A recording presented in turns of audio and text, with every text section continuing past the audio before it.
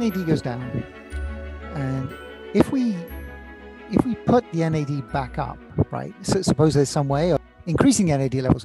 Have we ever seen any? Do we see any ne- negative effects of that? Um, I mean, in particular, there was there's kind of like maybe it helps cancer because cancer needs NAD, and so if you're boosting your NAD, then it may help cancer. Yeah, so so cancer's kind of been my biggest concern, you know, going into this, and and I think for for a lot of people in the field that that definitely stands out as as a potential risk.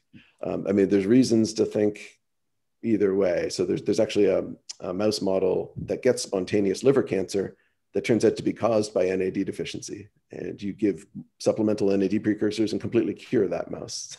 you know, so there's there's reasons to be excited that it could be an anti-cancer therapy. Um, but at the same time, you know, that we use a liver regeneration model where it NAD, you know, makes it go faster, and that that looks a lot like liver cancer.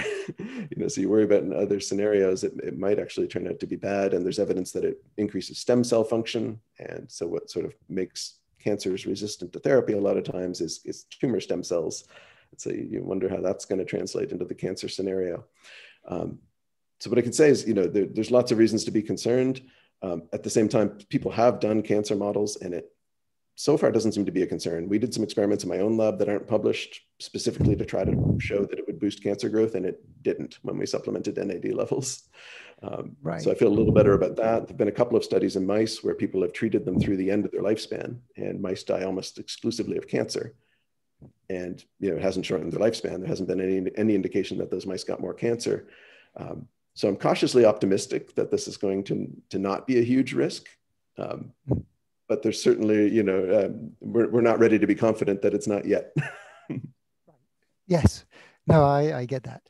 Um, so one thing, do we, I mean, we, we kind of look at the NAD levels and we say, um, I guess it, we give mice NAD boosters and they, and they live more healthily, perhaps. So do we have any confidence that higher NAD levels are related to health can, can we kind of compare those two in any way? Uh, I mean, in a correlative sense, they are. So, you know, there's this observation, obviously, that we're right. starting from that as you age, they go down. Um, if you exercise, they go up. Uh, if right. you calorie restrict uh, mice, the uh, NAD levels go back up. Uh, you know, so there's this mm-hmm. uh, general feeling that you know, the, level, the level of NAD you have at a given moment seems to be correlating with how healthy overall um, you are. But um, yeah, I mean, in, in, terms of what we've seen experimentally, it's in my lab at least mostly in uh, in different disease models and stresses, we can show that it boosts resistance. It's very hard to show that if you take a young healthy animal that you can make them healthier, you know, by giving them more. That that we haven't really been able to to prove in any experiment that I can think of. right. Well, hopefully a young mouse would have sufficient NAD that so giving him excess does not help that much. NAD levels. So do we have any kind of benchmark for what would be a a, a good NAD level for uh, for I guess for a mouse would be easiest. I mean, eh, can you look at a mouse and say, you know, I measure okay, his NAD levels are too low. Um, yeah, for age. Right. No, um, I mean, so so what we use basically is is you know is the young controls.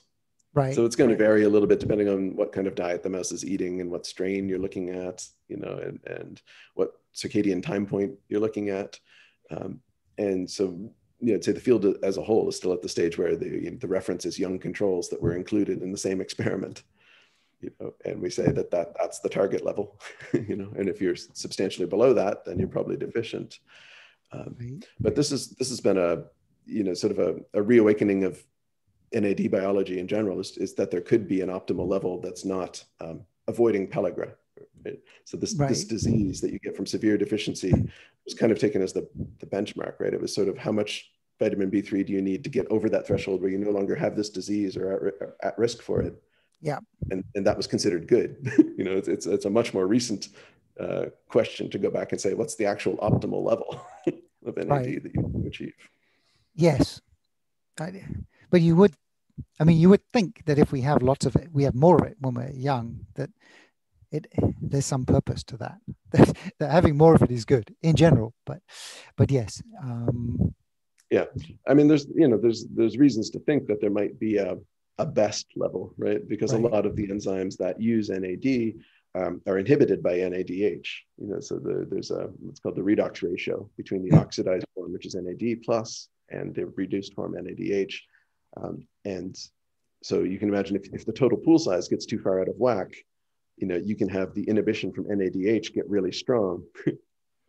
you know, eh, because just because you know, the redox ratio hasn't shifted, but there's so much more of both. That's a mm-hmm. lot of NADH inhibiting some of those enzymes that are trying to use NAD. And so right. biochemically, yeah. you can kind of imagine why you don't you don't want to go crazy and have you know 50 fold more NAD. it's yeah. maybe not going to have the desired effect on some of the reactions. yes. Okay, I can see that. So I it's kind of one last question in this area. So you, you said you know inflammation causes uh, degradation of NAD, but does uh, like lowering of NAD cause inflammation?